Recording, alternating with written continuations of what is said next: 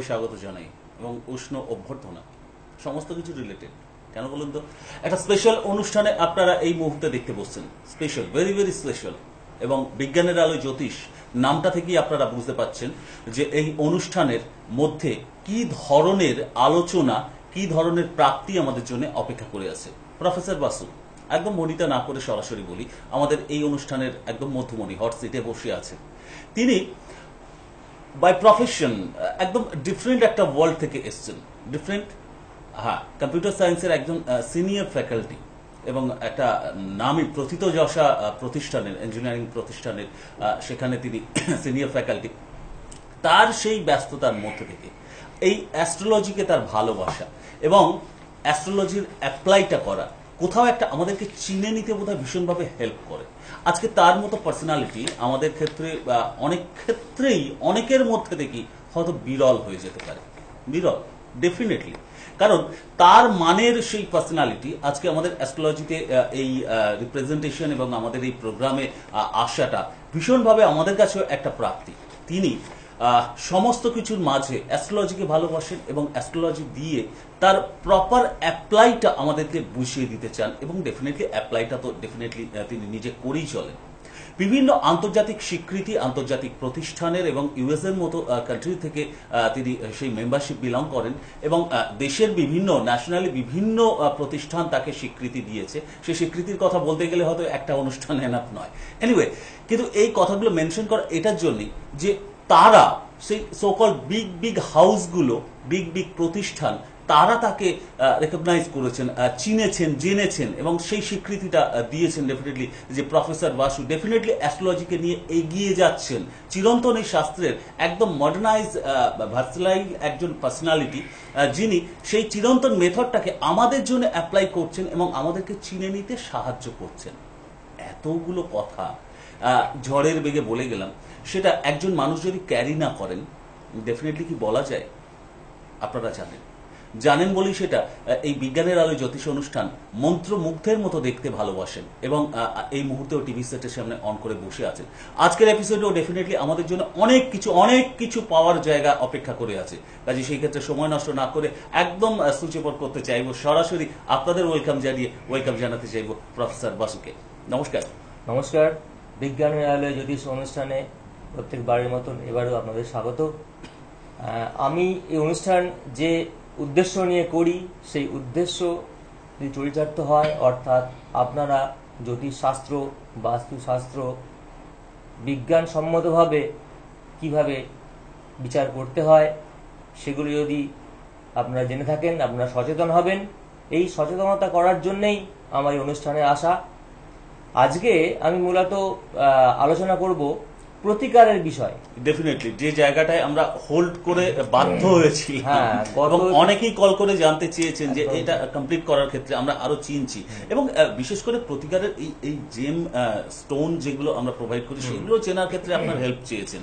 আজকের এপিসোডটা যদি সেই উদ্দেশ্যে একদম ডেডিকেটেড হয় আরও কিছু কোয়ারিজ তো থাকবে। তার ফাঁকে লাইভ ফোন ইন অনুষ্ঠান যখন আপনাদের ভাগ্য সংক্রান্ত প্রশ্ন তো থাকবেই আপনারা ফোন করতে থাকুন। তার ফাঁকে আমরা সরাসরি ডিসকাশনে প্রবেশ করি।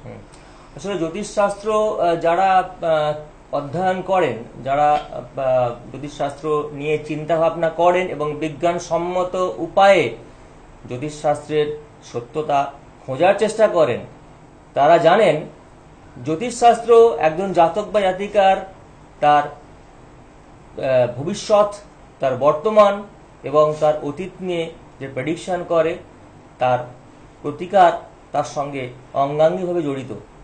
আমি একজন জাতক জাতিকার চার্ট বিচার করলাম, ছক বিচার করলাম, তার এই সমস্যা আছে সেগুলো তুলে ধরলাম সঠিকভাবে।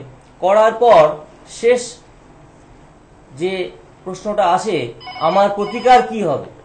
সেই প্রতিকার জানতে গেলে আমরা জানি অ্যাস্ট্রোলজিক্যাল রেমেডি বা জ্যোতিষ মতে যে প্রতিকার, সেখানে আমাদের গ্রহ রত্নের উপর নির্ভর করতে হয়। তো সেই গ্রহ রত্ন কীভাবে আমরা চিনব সেই গ্রহ রত্ন যারা দেবে, তাদেরকে আমরা কীভাবে চিনব? আপনারা দেখে থাকবেন প্রায় বিভিন্ন অনুষ্ঠানে বিভিন্ন জ্যোতিষীরা, তারা বেশ বিজ্ঞের মতো করে নিজেদের পাণ্ডিত্য দেখানোর জন্যে অনেক অঙ্গভঙ্গি করে হাত পা নেড়ে বিভিন্ন জেস্টার করে তারা বলার চেষ্টা করেন, বলেন। তো কখনো লক্ষ্য করেছেন, যখন হাত পা নাড়ছেন তারা তারা হাতে কটা গ্রহরত্ন পড়ে আছে? নটা তো গ্রহ। চারটে চারটে, আটটা আঙুলেতেই, প্রত্যেকটা আঙুলেতেই তারা বিভিন্ন রকম, আট রকম স্টোন বা গ্রহরত্ন পড়ে আছেন। প্রশ্নটা হচ্ছে, তাহলে জ্যোতিষশাস্ত্র পড়ে লাভটা কি হলো? আমি ডাক্তার হয়ে আমার চিকিৎসার ব্যাপারে আমি নিজেই কনফিডেন্ট নই। যতই আমি ডাক্তারি বিদ্যার কথা বলি না কেন, আমার ট্রিটমেন্ট আমি নিজেই করতে পারছি না। যদি আটখানা রত্নই পড়েন জানেন নটা গ্রহ, রাহু এবং কেতু অর্থাৎ গোমেদ এবং ক্যাটসাই দুটো একসঙ্গে পড়া যায় না, সেটা সবাই জানেন, তার জন্য যদি শাস্ত্র পড়ার দরকার নেই। তা বাকি থাকল আটটা গ্রহ রত্ন, সবগুলোই পড়ে নিলাম। তাহলে কি দরকার? যদি শাস্ত্র পড়ার কি দরকার? আমার এই বিজ্ঞতা দেখানো এইখানে আপনাদের মনে করিয়ে দিই, যত সংখ্যক কম রত্ন পড়া যায়, সেটাই ভালো। বেশি রত্ন পড়লে তার হিতে বিপরীত হয়। আর এই কম সংখ্যক রত্ন, অর্থাৎ এক্স্যাক্টলি যে রত্ন আপনার দরকার, তার যে পাওয়ার দরকার, অনেক সময় রত্নের বদলে শুধু ধাতুতে কাজ হয়, সেই জায়গাটা জানতে গেলে বিজ্ঞান সম্মতভাবে বর্গ বিচার করতে হবে। অর্থাৎ ডিভিশনাল চার্ট অর্থাৎ একজন জাতক জাতিকার জন্য শুধু আমি লগ্ন চার্ট অর্থাৎ জন্মছক এবং নবাংশ দেখে দিলাম, তাহলে কোষ্ঠী বিচার হলো না। কোষ্ঠী কথাটা হচ্ছে কালেকশন অফ চার্টস অনেকগুলো ছকের সমাহার একজনের কোষ্ঠীতে, একেই বলা হয় কোষ্ঠী। আর এই বর্গ বিচার বা ডিভিশনাল চার্ট অর্থাৎ বিভিন্ন চার্ট যদি বিচার না করা যায় মিনিমাম ষোলোটা। ষোড়শ বর্গ আমরা বলি। মিনিমাম ষোলোটা চার্ট না দেখলে একজনের কি গ্রহ লাগবে, কি রত্ন লাগবে, সেটা ঠিক বোঝা যায় না। অর্থাৎ আমি যদি দেখে নিই, নিজেই আমি চার চার আটটা আংটি পড়ে আছি, রত্ন ধরে, ধারণ করে আছি, তাহলে বোঝা যায় আমার সম্বন্ধে আপনাদের একটা সন্দেহের অবকাশ থেকে যেতে পারে। তো আজকে চলুন সে বিষয়ে আলোচনা করব। একটা এক্সাম্পল দিই।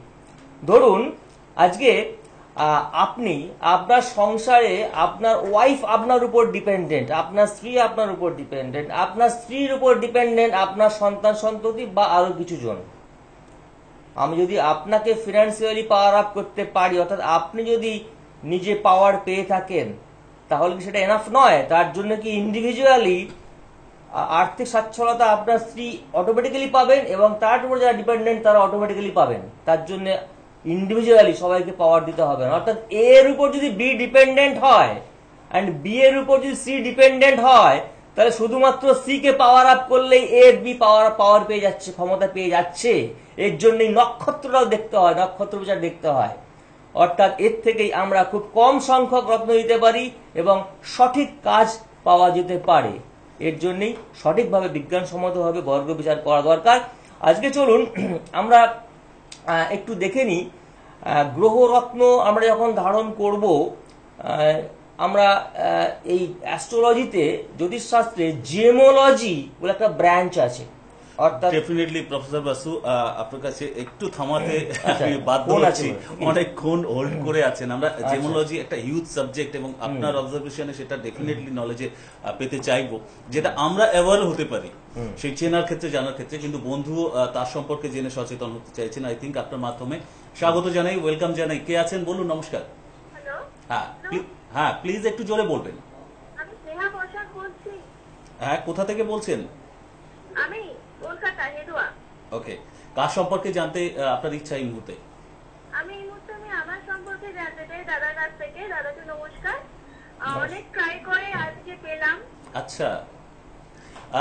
একটা একটা কথা তাহলে প্লিজ বলবেন যে এই যে প্রফেসর বাসুর এই যে ইনস্টিটিউটিভ একটা একটা প্রচেষ্টা আপনাদের কাছে একটা কিছু থিঙ্কিং পৌঁছে যাওয়ার যেটা কিনা ভীষণ ভাবে শাস্ত্রকে বিলং করে একদম প্রকৃত জায়গাটা তুলে ধরা। এই অবজারভেশনটা এই থিঙ্কিংটা আপনাদের কেমন লাগছে?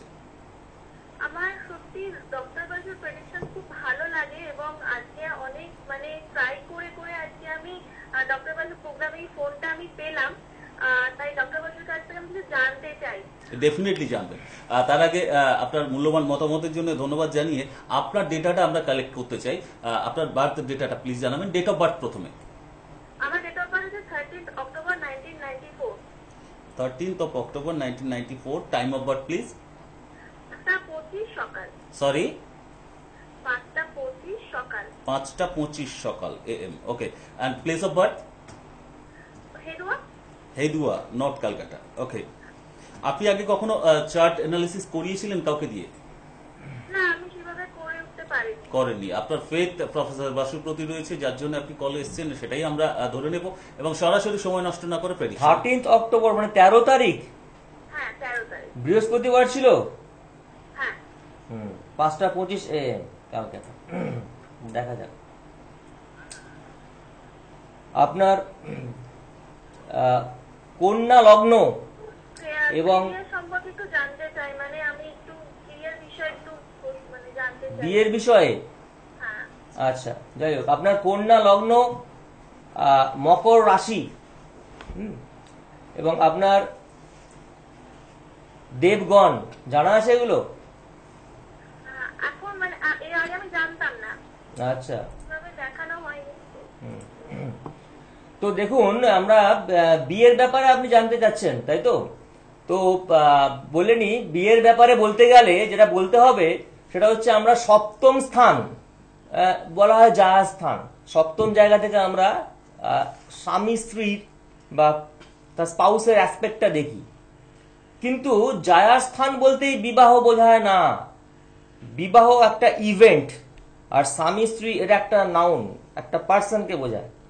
তাহলে যদি বিবাহ দেখতে হয়, শুধু সপ্তম স্থান দেখলে হবে না, তার সঙ্গে বিয়ের যে কানেকশনগুলো, যার উপর ডিপেন্ডেন্ট সেটা দেখতে হবে। অর্থাৎ থার্ড সেভেন্থ অ্যান্ড নাইন্থ তৃতীয়, সপ্তম এবং নবম ভাবটা দেখতে হবে। তো আপনার লগ্ন সাপেক্ষে যে তৃতীয় পতি, সেটা হচ্ছে বৃশ্চিক, অর্থাৎ বৃশ্চিকের অধিপতি মঙ্গল। লগ্ন সাপেক্ষে সপ্তম তার অধিপতি হচ্ছে আপনার মিন। অর্থাৎ মিনের অধিপতি এখানে বৃহস্পতি। তাহলে কি পেলাম? মঙ্গল, বৃহস্পতি, আর তার সঙ্গে আপনার নবম। নবম অধিপতি হচ্ছে আপনার মিথুন, বুধ। তাহলে মঙ্গল, বৃহস্পতি এবং বুধের জায়গা দেখতে হবে, তার কানেকশন দেখতে হবে। তার সঙ্গে সপ্তমের জায়গা, অর্থাৎ বৃহস্পতি কি অবস্থায় আছে আপনার চার্টে সেটা দেখতে হবে। একটু ক্লিপিংটা দেখে দিলে ভালো হয়, আমি দেখাতে পারব যাতে এক্সপ্লেন করতে পারব। তো দেখুন, বৃহস্পতি এখানে সপ্তমে রাহু সঙ্গে কানেক্টেড বৃহস্পতি সপ্তমে রাহুর সঙ্গে কানেক্টেড আর সেই তার সঙ্গে বসে আছে শুক্র এবং বুধের সঙ্গে যুক্ত হয়ে। অর্থাৎ বৃহস্পতির জায়গা দেখা যাচ্ছে একটু ডিসরাপ্টেড একটু প্রবলেমেটিক তো আপনার লগ্ন হলো এখানে কন্যা লগ্ন। কন্যা লগ্নের সাপেক্ষে আপনার বৃহস্পতি কিন্তু শুভ নয়। কন্যা লগ্নের সাপেক্ষে বৃহস্পতি শুভ নয়। কন্যা লগ্নের সাপেক্ষে আপনার শুভ গ্রহ হচ্ছে বুধ এবং শুক্র। দেখা যাক, সেই বৃহস্পতির অবস্থা কি কোথায় আছে? বৃহস্পতি নবাংশে আছে দ্বিতীয় মানে মিথুনে। মিথুনে বৃহস্পতি ভালো ফল দেয় না। এখান থেকে বোঝা যাচ্ছে আপনার বিবাহ ব্যাপার জায়গাটা একটু দুর্বল আছে। এটা কনফার্ম করার জন্য আমায় কি দেখতে হবে? ডি ওয়ান এবং ডি নাইন দুটো জায়গাতে। আপনার প্রশ্নটা কি? কবে বিয়ে হবে? বা বিয়ের ব্যাপারে যে সমস্ত সমস্যাগুলো হচ্ছে সেগুলো কি করা যায়? এই তো? আমি শুনলাম বিয়ের ব্যাপারে। যাই হোক। চাকরি সংক্রান্ত। চাকরি তো চাকরি দেখতে গেলে অন্য অ্যাসপেক্ট দেখতে হবে। সেটা হচ্ছে আমার দশম স্থান যেটা আমরা প্রফেশনাল জায়গা আমরা বলি টেন্থ হাউস তো আপনার কন্যা লগ্ন সাপেক্ষে আপনার দশম স্থান হলো মিথুন, তাই তো? কন্যা লগ্ন সাপেক্ষে দশম স্থান হচ্ছে সরি কন্যা লগ্ন সাপেক্ষে দশম স্থান হচ্ছে আপনার হ্যাঁ মিথুন। সেই মিথুনের অধিপতি বুধ। সেই বুধে হচ্ছে আপনার কর্মপতি। সেই বুধ কীভাবে কীভাবে, কতটা ভালোভাবে বসে আছে আপনার চার্টে সেই বুধ দেখা যাচ্ছে আপনার চার্টেতে বসে আছে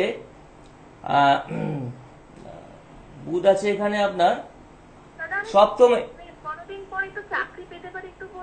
মানে আপনার চাকরির জায়গাটাতে একটু প্রবলেম আছে। প্রবলেমটা হচ্ছে আপনার বুধ যে জায়গায় আছে সেখানে বুধের সঙ্গে বেশ কিছু বাধক গ্রহ বসে আছে রাহু বসে আছে। এবার দেখা যাক সেটাকে কনফার্ম করার জন্যে আমি দেখে নিই আপনার বুধের অবস্থা আছে এখানে। নবাংশে বুধ আছে আপনার মকরে বসে আছে এবং শনির সঙ্গে যুক্ত হয়ে। এটাও একটা প্রবলেম কেন আপনার কন্যা লগ্নের সাপেক্ষে শনি খুব একটা শুভ নয়। কবে চাকরি পেতে চাপ পারেন, সেটা দেখার জন্য আমাকে দেখতে হবে ডিএপি তার আগে বলি, বর্গ বিচার কেন করতে হয়?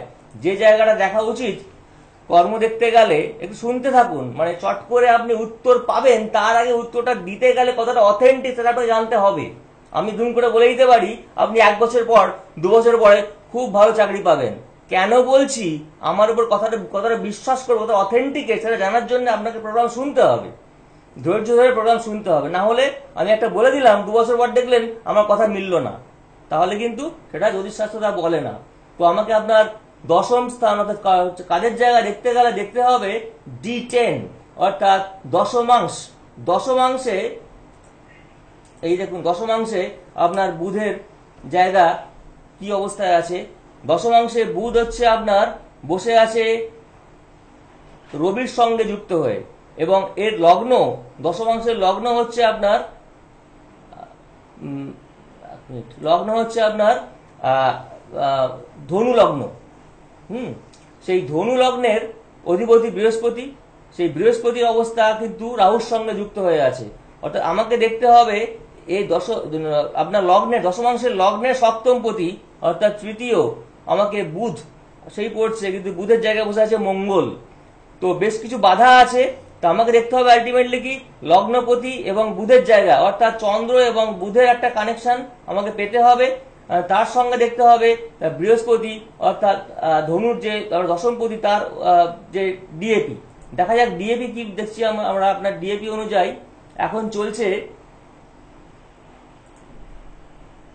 এখন ডিএপি দেখতে গেলে আমরা জানি কোনো একটা ইভেন্ট পার্টিকুলার ট্রিগার করে তার দশা, অন্তর্দশা, প্রত্যন্ত দশাতে।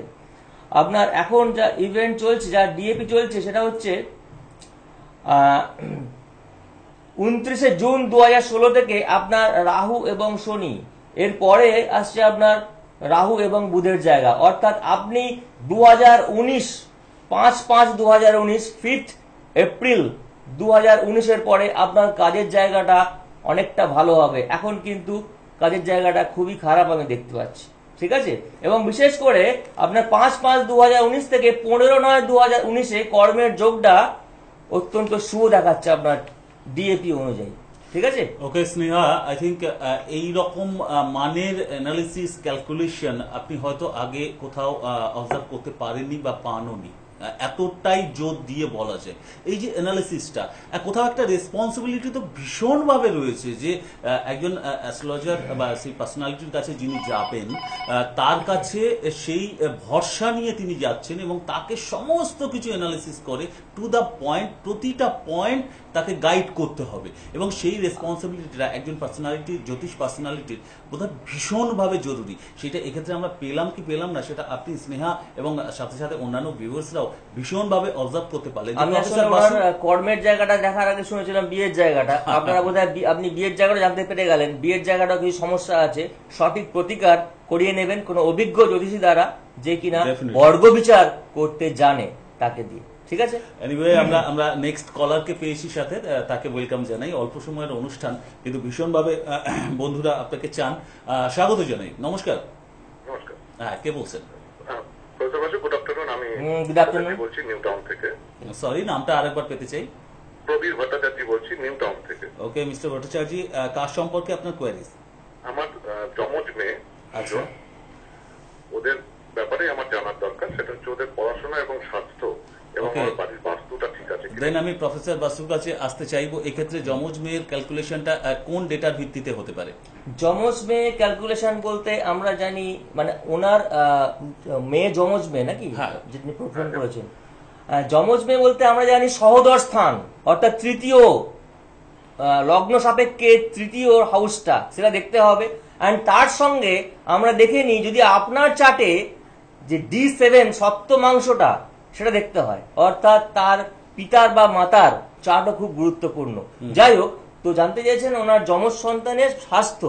স্বাস্থ্য বলতে গেলে আমরা জানি জেনারেলি ডি ওয়ান অর্থাৎ লগ্নস্থান এবং তার ডি নাইন তার সঙ্গে ডি থ্রি কান এই তিনটে চার্ট বিচার করা অতি আবশ্যক।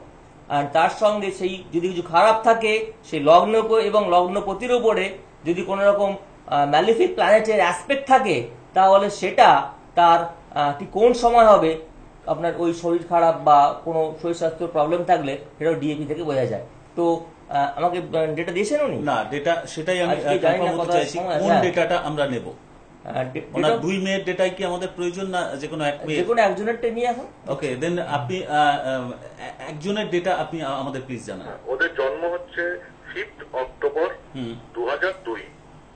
সকাল নটা তেইশ মিনিট। টাইমটা তো ডিফার করছে। হ্যাঁ একটা তেইশ মিনিট একটা চব্বিশ মিনিট এক মিনিটের ওকে দু হাজার দুই। টাইমটা কত? নটা তেইশ। আর নটা চব্বিশ নটা তেইশ ঠিক চব্বিশ। নটা তেইশ এম সকাল। হ্যাঁ আর প্লেস অফ বার্থটা বলবেন। Place of birth fifth October না place of birth place Calcutta না অন্য কোথাও? ক্যালকাটা প্লেসটা খুব ইম্পর্টেন্ট কারণ ল্যাটিচিউড অ্যান্ড লঙ্গিচিউডের উপর ডিপেন্ড করে অ্যাসেন্ডেন্ট ক্যালকুলেশন হয়। লগ্ন ক্যালকুলেশন কীভাবে হয় সে নিয়ে আমি একদিন তার অঙ্কটা তার ম্যাথামেটিক্যাল এক্সপ্লেনেশন আমি অন্য একদিন দেবো। তো হ্যাঁ ঠিক আছে।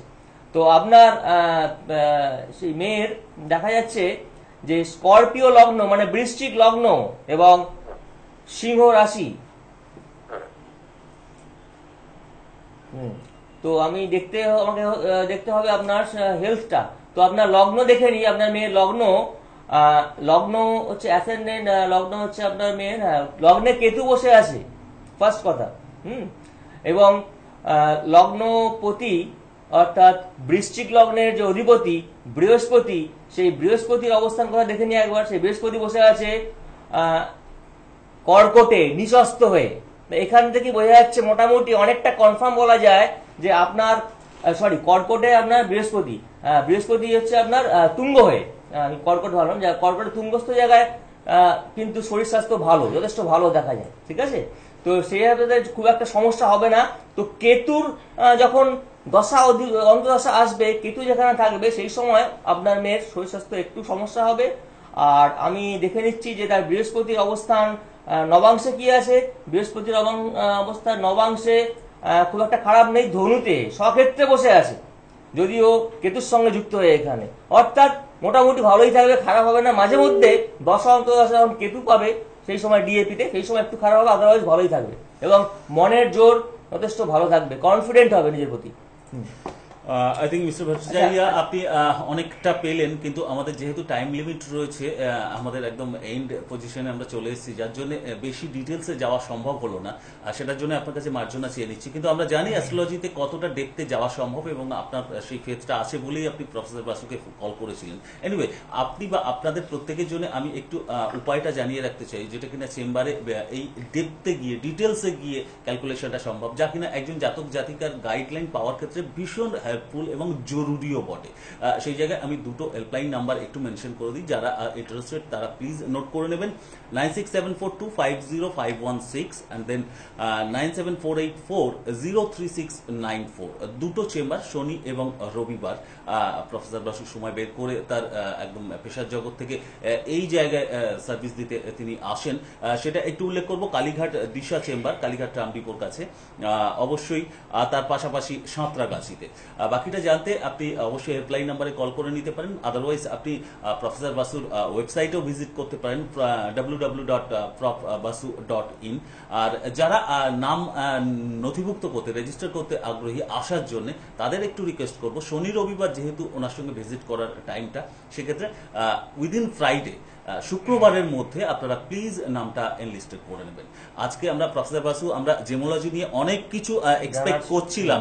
কিন্তু সময় একদম শেষ যার জন্য আমাদের আর এগোনোর উপায় নেই। এবং আসলে একজনের চার্ট দেখতেই প্রায় এক ঘণ্টা সময় লাগে। যাই হোক তো একটু টাইম লাগে আপনার দেখতে। তো আজকে এই অবধি থাক পরের দিন জেমোলজি এবং বাস্তু নিয়ে কিছু আমি আলোচনা করব। বাস্তু টিপস হিসাবে এই মুহূর্তে একটু দিয়ে রাখি আপনার বাড়ির প্রবেশদ্বারের সামনে কোনো পিলার বা খাট যেন না থাকে আর ঘরের প্রবেশদ্বারের সামনে আপনি যদি কোনো স্বস্তিক চিহ্ন দিয়ে থাকেন তাহলে সেটা বাড়ির বাস্তুর জন্য খুব ভালো। আজকে ভালো থাকবে চলল তাহলে? মোটামুটি হলো তো আমার নেক্সট অনুষ্ঠান নেক্সট সানডে আপনারা দেখবেন লাইভ অনুষ্ঠান। কেমন লাগল জানাবেন? অবশ্যই।